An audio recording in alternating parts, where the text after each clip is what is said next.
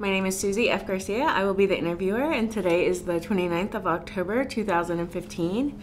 We are located in the Julian Samora Library at the campus of the University of Notre Dame at South Bend, Indiana. And I will be interviewing Carmen Giménez Smith, author of the poetry collections The City She Was In, Goodbye Flicker, National Poet National Book Critic Circle Award finalist Milk and Filth, Memoir, Bring Down the Little Birds, and three chapbooks.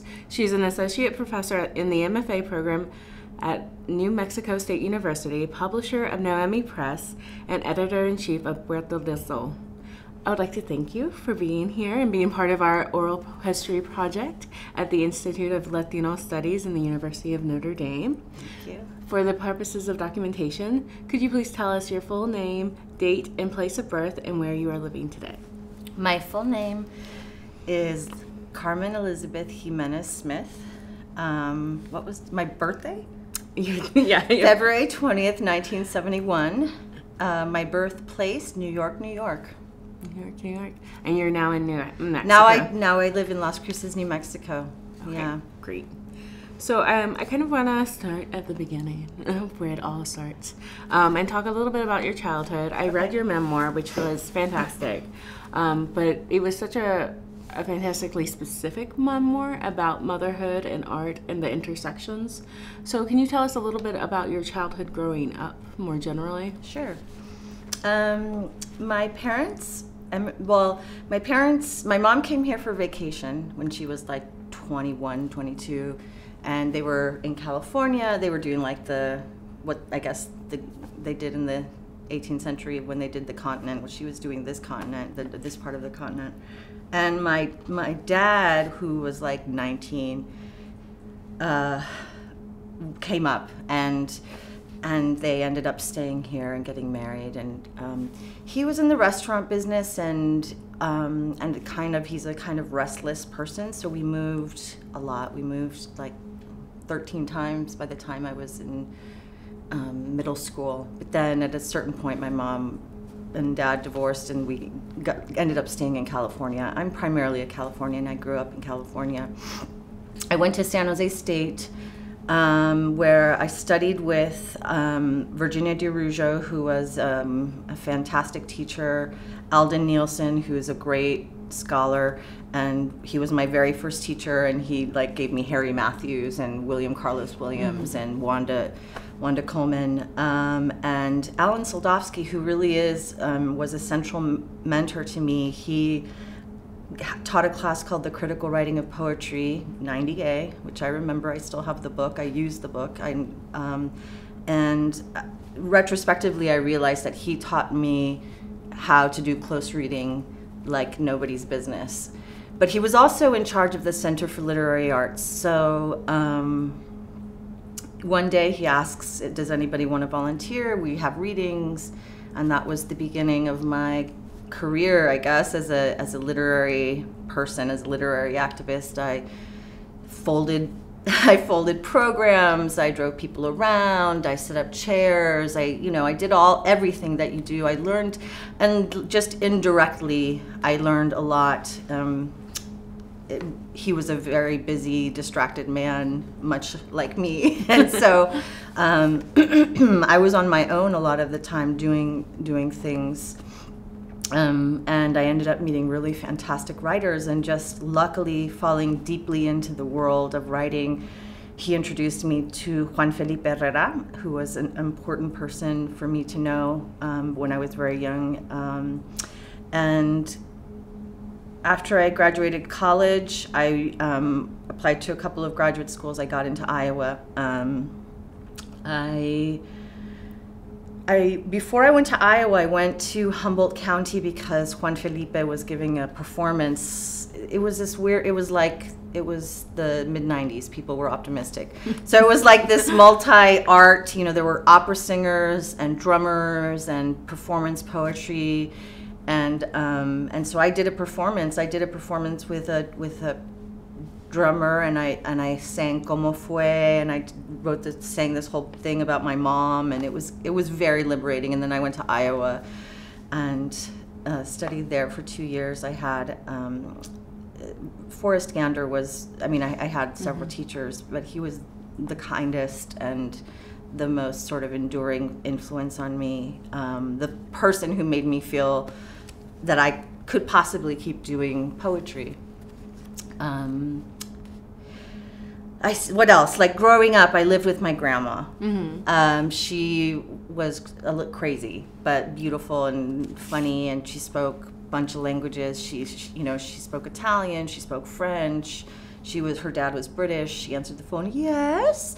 So you know, You mentioned in your memoir that your mother worked something like three jobs, but Yeah. she would um, often still find time to do things like watch Hepburn films with you, or um, she would tell she had like these moments of creativity, like the idea that you and your brother were twins, just born several months apart. yes. Um, how do you think that really influenced your aesthetic or your ideas of creativity?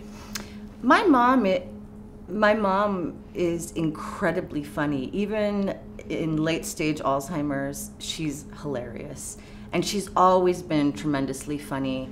Uh, and I think that um, in my family, it was just like be out funnying each other and entertaining each other and storytelling.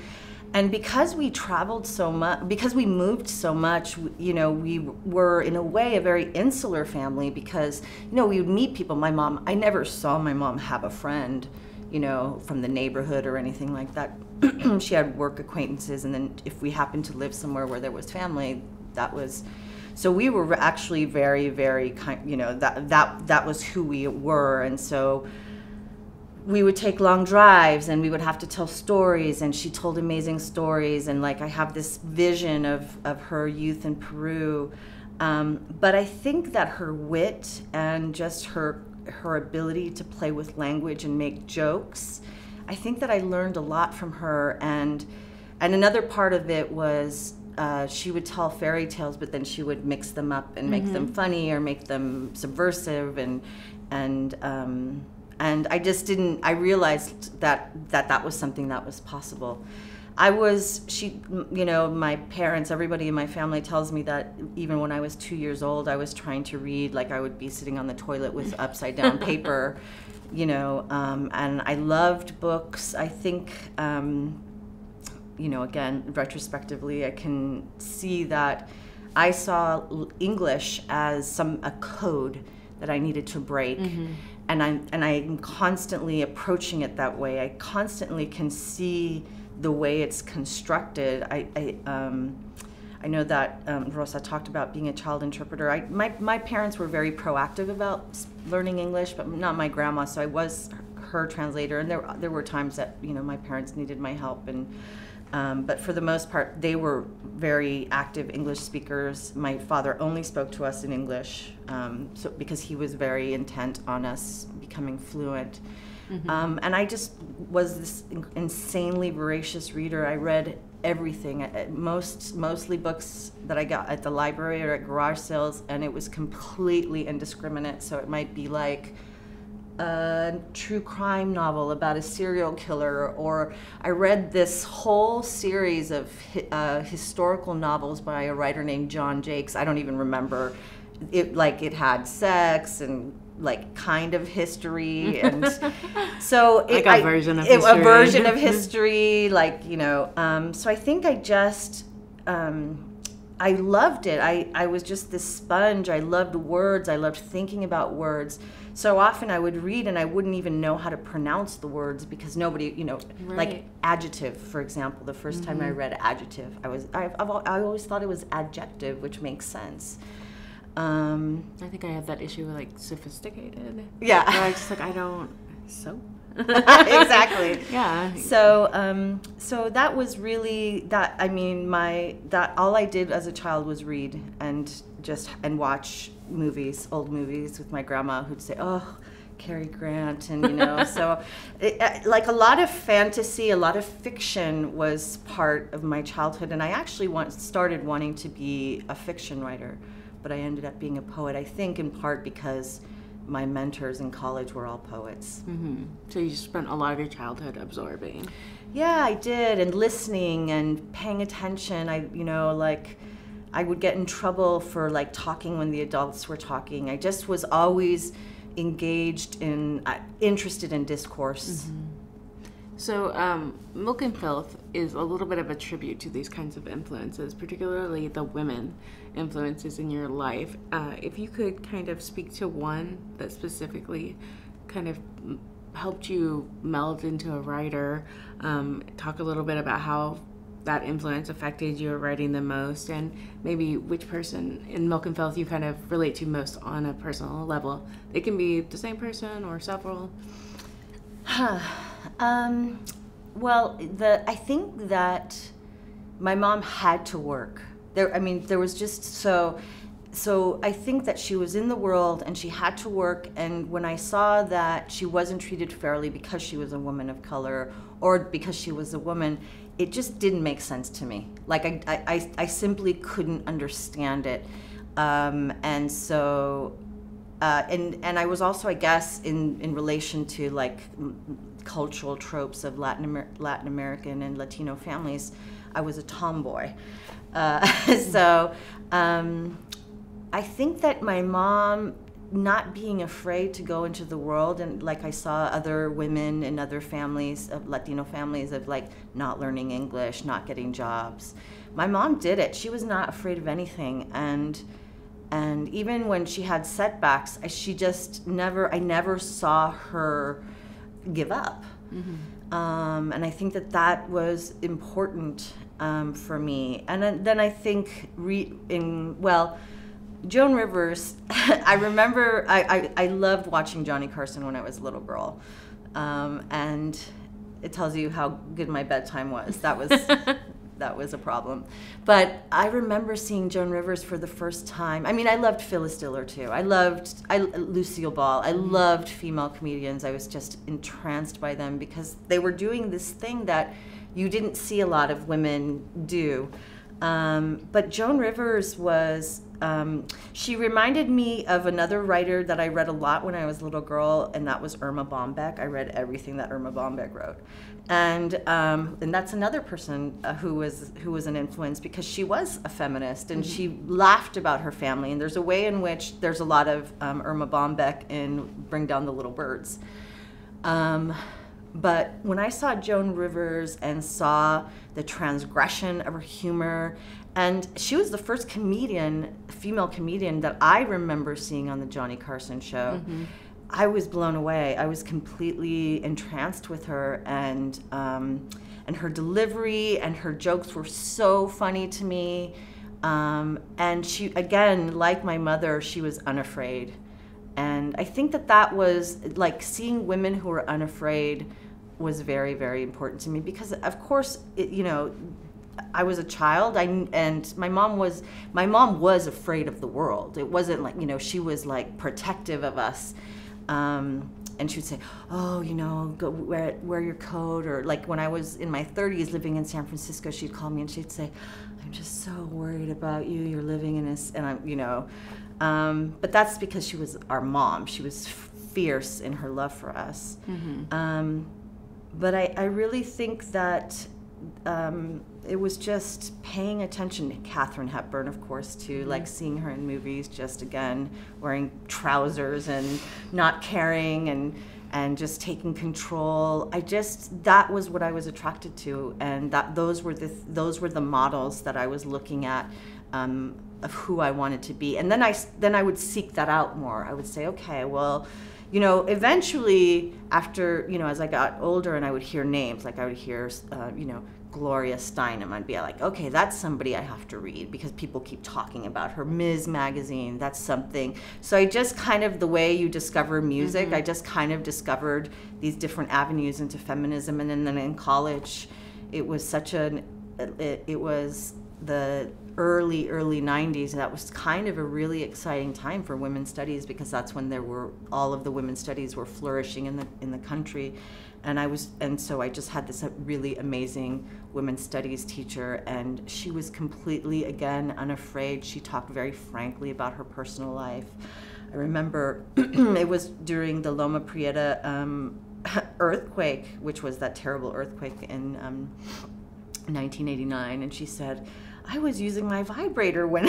when the you know, and I was like, what? um, I, what's a vibrator? Um, so it was just. Um, it just i just feel like i hit a really magical time a really optimistic time for feminism and, and i bought into it um, mm-hmm. and so that so i was you know i was in it for life that was you know um, everything I did was related. I read a lot of women. I was very conscientious about reading a lot of women poets. Um, and my teacher, again, Alan and Virginia and Aldon, were very good about pointing me to pe- people of color. And I mean, the, the, the, the few that they knew. But Al- Aldon specialized in black poetry, so I mean, that was awesome. Mm-hmm. Um, and and I just again sponge, sponge, sponge. I was I was in a way a terrible student. Um, I like to go out dancing. Um, I did great in all my English classes.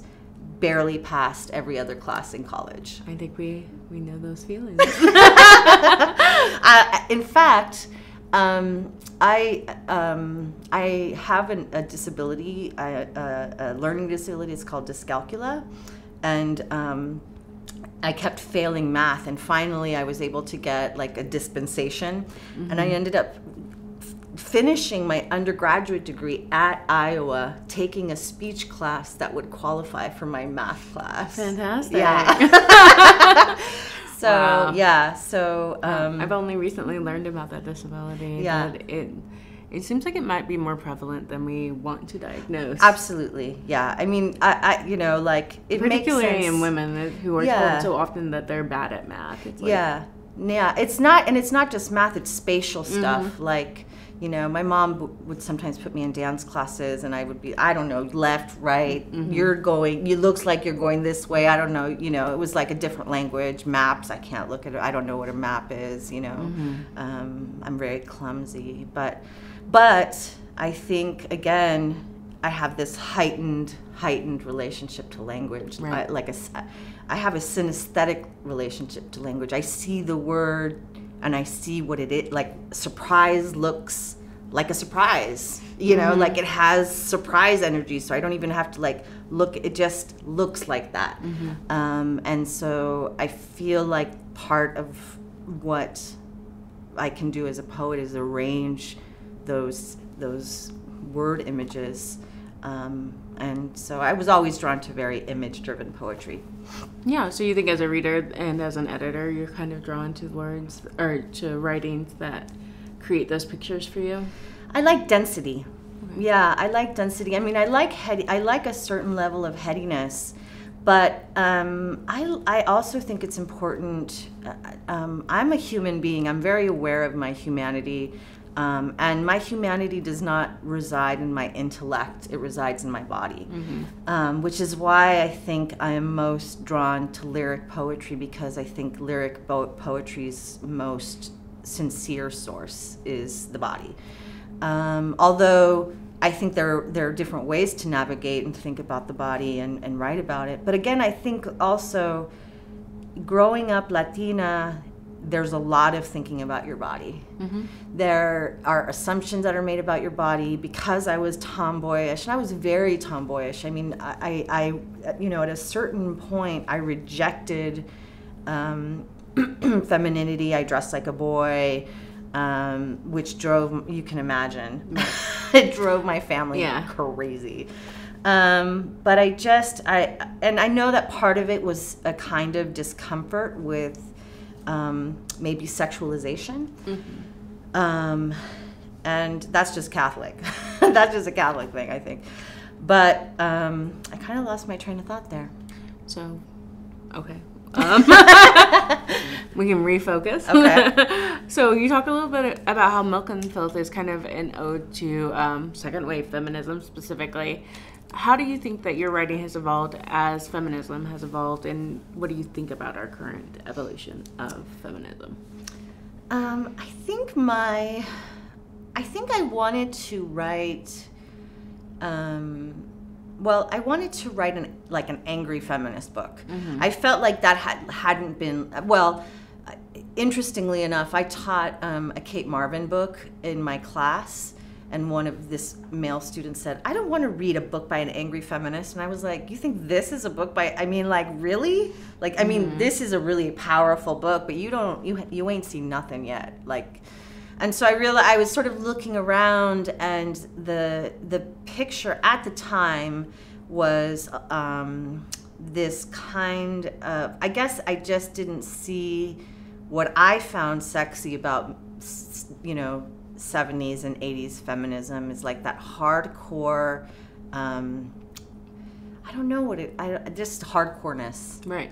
just like. Um, Kind of like an attitude. an attitude and i guess the other part of it maybe was um, I, f- I felt like um, we hadn't quite resolved this the objectification question i think and i think we've actually really devolved in, the, in that respect like when you think of you know a, i recently saw a cover of sports illustrated magazine you know with this woman and it was like it looked like child pornography. It was you know and um and i'm not a prude by any stretch of the imagination uh but um and that this idea of like reclaiming femininity and like well we you know femininity hasn't gone anywhere.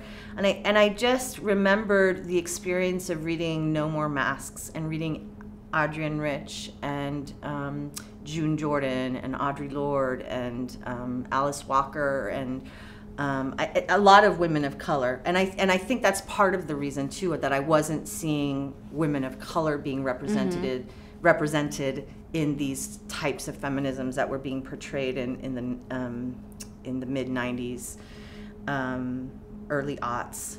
So um, I I originally said my idea of Milk and Filth was it was a tribute album to No More Masks, which was such a formative book for me. So, like, if I think of poems, I can think of specific poems in No More Masks that that resonate and echo in um, in all of my books.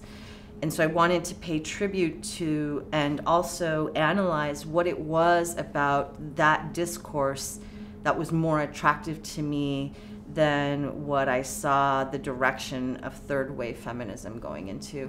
And again, I think I think when I talk to um, friends, uh, other friends of mine like Deb Paredez, who's an amazing scholar and poet, we talk about how um, our sense of like the transition between second and third wave was like, whoa, whoa, whoa, we didn't you guys didn't resolve the race thing. Right? Like that you guys are good and you know you're you're lawyers and you're making more money and all of that but you know we're we're still in this almost in the same exact place that we were in the 70s um, and so we don't have time to reclaim our frilliness and our bullshit.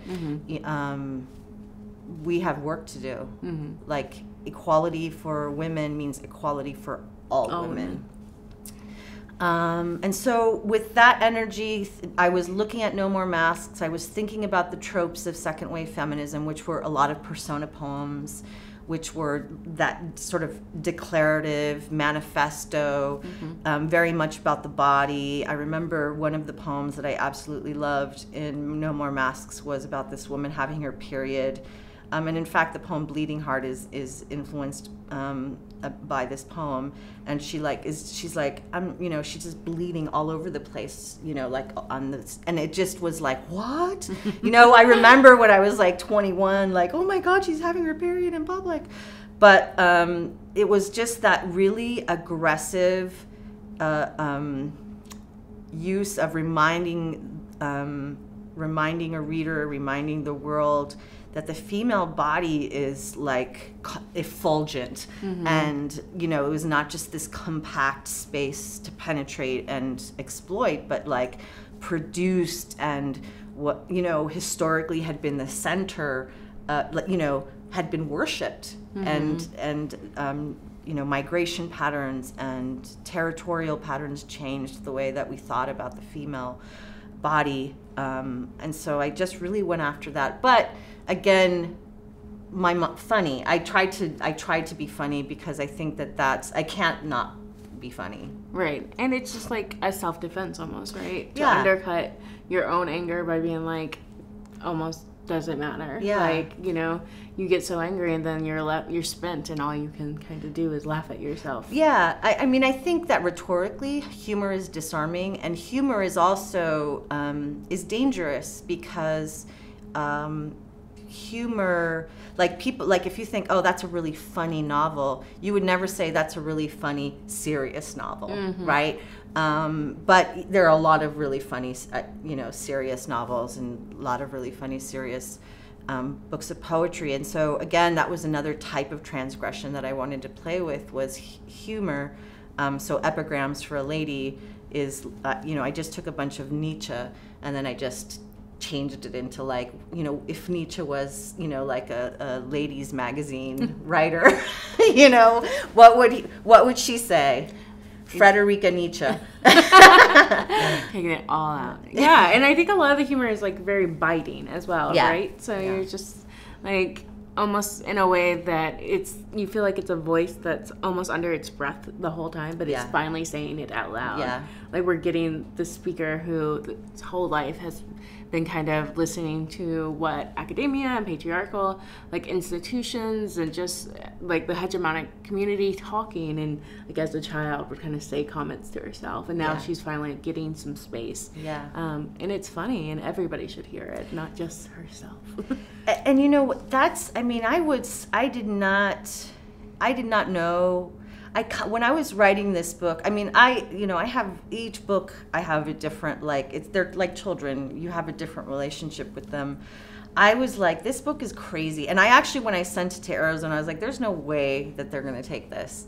So it, it, you know because it was just kind of su- such an intense book um, and um, they loved it and they were excited by it. And um, and so when it came out and like people their response to it was really i mean obviously it was thrilling because you know I, you know nobody nobody had i hadn't had many people talk about my work before but people were like oh you know thank you i needed to hear this i felt liberated by it and and i was that was that was i think probably the best feeling i've ever had in my life because that's what i was trying to replicate from my experience of no, i was just trying again a tribute album to no more masks. I was just trying to resurrect these tropes these approaches because they were useful and they were important and to disavow them um, you know, based on some idea that, that we've experienced some kind of, you know, invisible advancement, um, we haven't. Um, Right. I mean, like, I think people say things like, you know, I don't like it when women talk about their periods because we get it. You have periods. Like, we've already gotten that. We, were, we saw the vagina monologue, monologues. And I'm like, well, if you're so uncomfortable with it, then, like, if we've said it so much, then why are you still feeling like, Yeah. like so uncomfortable? I'm going to say it until you're comfortable. Like, exactly. in my intro to gender class, Yeah. um, when I speak sometimes about like orgasms, I'm like, I'm going to say orgasm at you until you're comfortable with the fact that your professor is saying orgasm at Right. you. Yeah. And I think that as a society, we haven't had enough women, like voices permeate. Like we have so many wonderful vo- women voices, but we have to continue the permeation Yeah, through absolutely. Because the message is so mixed because women's bo- I mean women's bodies are you can see, you know, almost naked women. And I'm not a, again, I think women's bodies are awesome and beautiful and I could look at them all day long.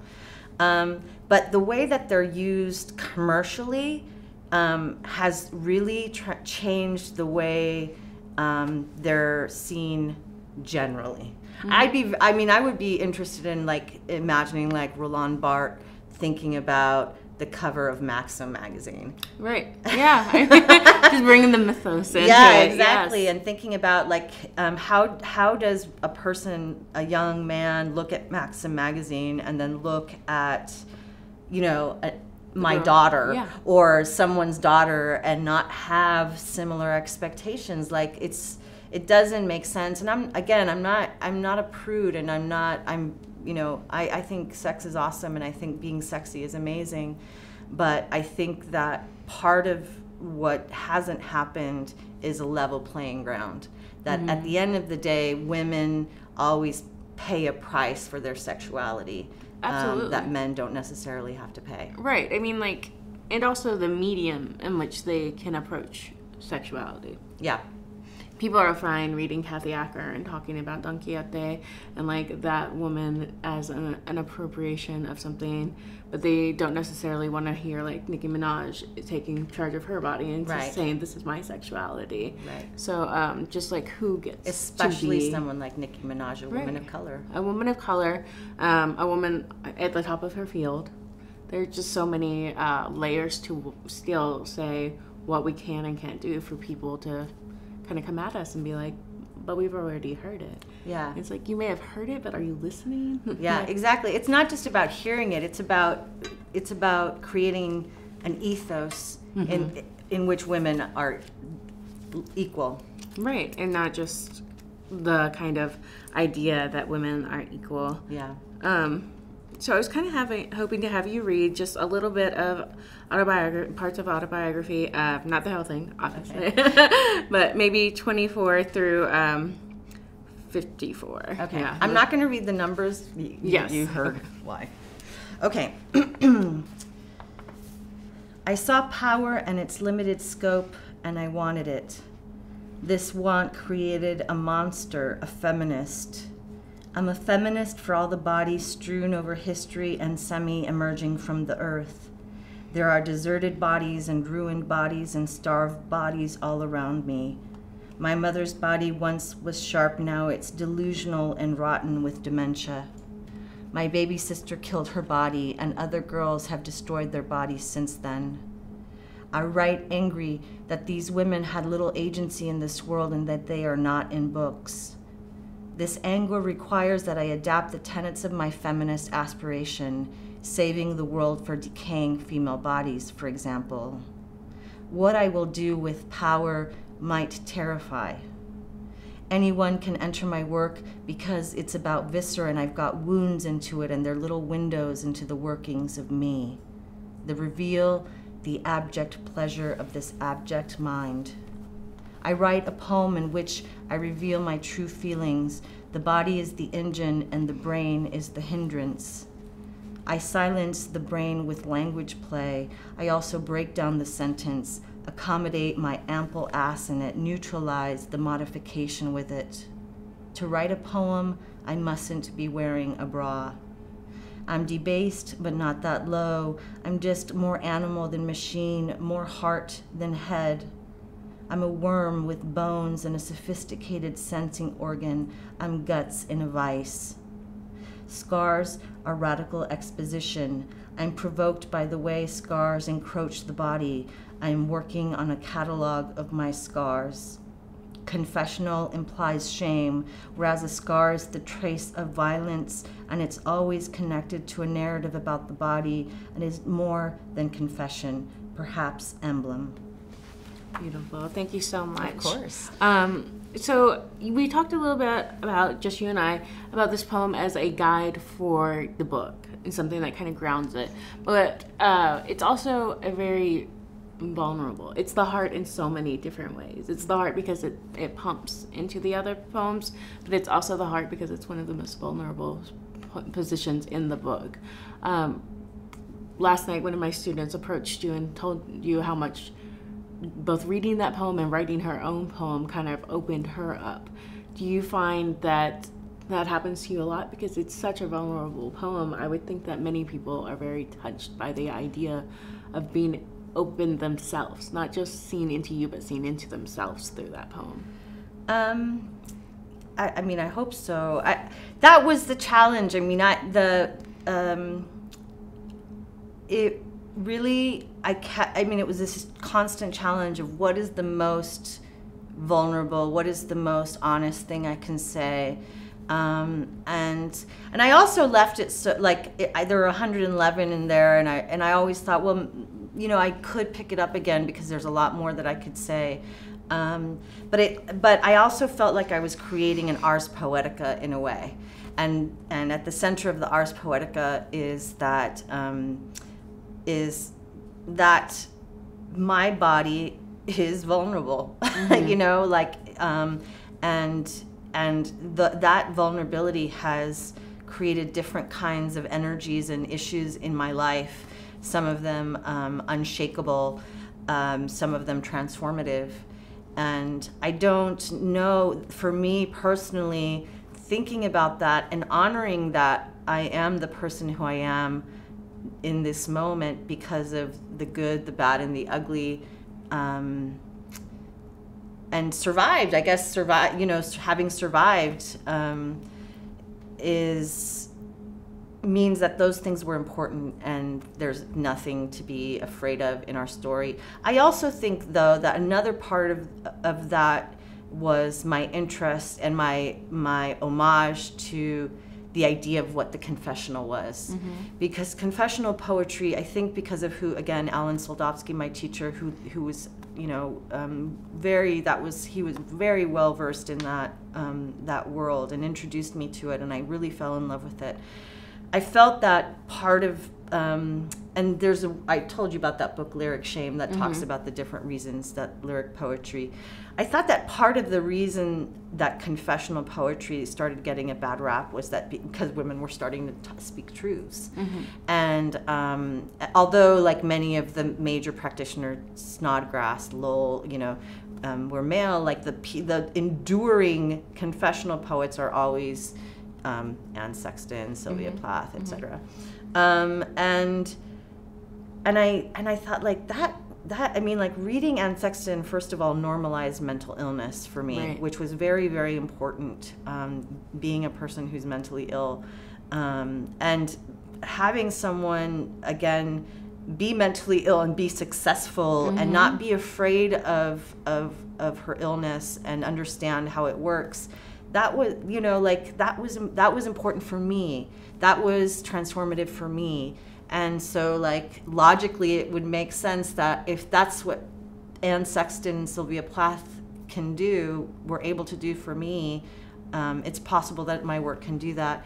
Um, and I had no interest. I mean, I tried the ironic, ironic distance. I like surrealism. I think that surrealism is always a little bit of an undercurrent in my work, but I just can't be a detached person. I can't, um, I can't not really, not just feel. I can't not really feel heavily in my work. Um, you know, I don't, I don't remember what musician it is. He's a jazz pianist but when you hear him playing, you can hear him humming while he's playing. Oh, wow. And it's so beautiful.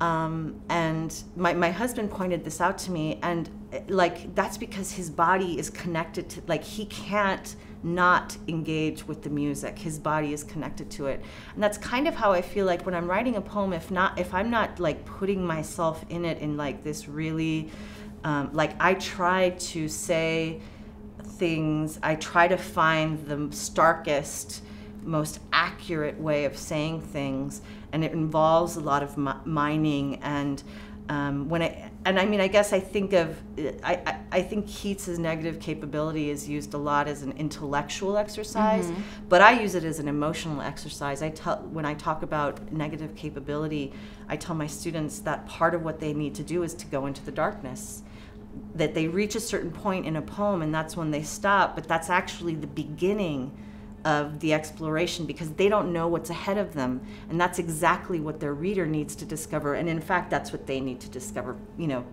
catharsis is part of mm-hmm. poetry. Um, so, I, I, mean, I guess that's always been my ethos in relation to poetry. And there have been times that that hasn't been popular, but it's still my ethos. So you talk a little, a lot about mentorship, both your own mentorship and the mentorship that you do. Um, and I know on the VIDA Roundtable, you discussed how it is both exciting and kind of also a burden a little bit to have to be a woman of color because you are often the representative for other women of color. Um, can you talk a little bit about what draws you to to being a mentor and both the struggles and the and the exciting parts of it? Well, I get to meet amazing Thank people. um, I was mentored, and it, you know, it got me where I am, and um, and I have my friends like uh, uh, Roberto Tejada. I'll never forget. He helped me through some work stuff, and I just he, he was on vacation, and like texting me and calling me and checking in with me, and I was just so grateful. And he's like, "I'm just paying it forward." And you know like i and and i think that's a big part of it i think the other piece of why even though it's you know even though it's challenging and it's like oh yeah what a complaint you have to do readings all the time and you know people want you to do these things um, I don't mind doing them, and I and, and, I say yes, and I'm kind of a workaholic. My my mom was a work like a real workaholic, mm-hmm. and I'm, you know, in the vicinity. um, uh, I think that my ethos as a poet is also connected to the literary community. I think I, because of my work at such an early age with Alan doing the Center for Literary Arts, you know, trying to attract readers, trying to create audiences for different kinds of poets. I just realized that that was a, like that was part of it. That you, if you were a writer, it wasn't just about you putting work in the world. It was you also because this world is not, is less and less interested mm-hmm. in literature every day. Um, even though it's very important and, and does important work. And I guess, ev- you know, there's evidence long historical evidence that books have had a lot of influence in the world and they will continue to do so. Um, we just have to remind people of that. Um, I've been very lucky. I'm a, prof- I'm a professor. Mm-hmm. You know, I went to San Jose State, I barely graduated, and now I'm like an associate professor. And um, that happened because people believed in me even when. Um, I was doing a terrible job. I remember when I was in high school, I um, I was in an English class, like it was a regular English class, and I was just bored to death. I was, and I and I went to the teacher and I said, I think you're a great teacher, but um, I think I need to be in a higher level class. and she was like, What? And I was like, Yeah, I think you know. And so she's like, Okay, well, you have to talk to these teachers. And so I went and I talked to the teachers, and you know, again, talk about being a hustler. I got into the higher level mm-hmm. class. I never got higher than like a C or a B minus, but they just saw that I was, you know, I was passionate, and they just kept giving me teaching and love and support, um, despite the fact that I cut class all the time and mm-hmm. you know made bad choices or whatever. Um, and that's that's why I'm here. Um, so I can't imagine living my life um, and not doing that same work. But I also I think um, I I'm like as in all of the things I do, my favorite thing is collaboration. I love mm-hmm. collaborating with people, and I think mentorship is a type of collaboration. But uh, you know, um, I'm not like um, I'm not a gentle mentor.